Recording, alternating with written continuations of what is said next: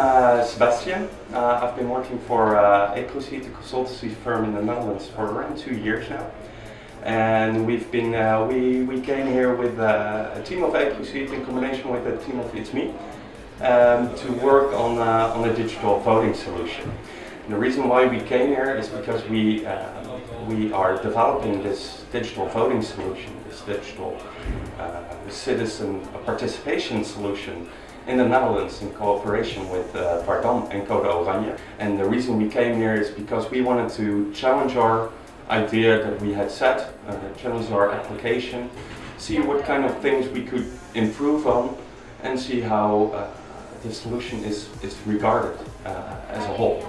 Because what we did is we totally revamped the, the democracy process in a forum where all uh, civilians have their say in it. Uh, so, uh, so apart from uh, choosing people that choose the solutions for us, we as, uh, as a people can choose our own solutions, can choose our own problems which we like to discuss, and eventually vote on the best possible outcome for that problem. Um, so that, that's what we did here as well. We uh, developed this, uh, this application.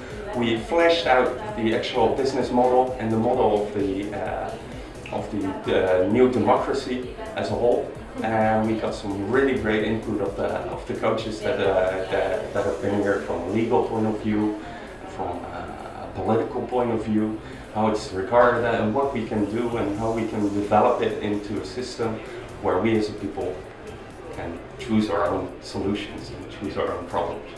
So we came here with um, actually nothing specifically in mind, but what we really noticed is that there are a lot of, of, of different viewpoints on, on how this, this democracy process now is regarded and how our new solution is regarded in, a, in the sense that from a legal point of view it's of course very hard to introduce the whole package at once. Um, the main point that we got out of that is that the solution itself is really great. It's got a lot of support. Uh, but from a legal point of view, we need to take it slow we need to build it up and we need to have a solid foundation in place to be able to, to grow it uh, to a system that we can all uh, live with. We'd like to thank uh, Hack4Gov and all the organization uh, behind this, uh, this great, great hackathon and this great solution. Uh, especially because we, uh, we as, as, as a project developer have received great input and have received a great challenge which, uh, which helped us develop uh, our, our solution into something even better.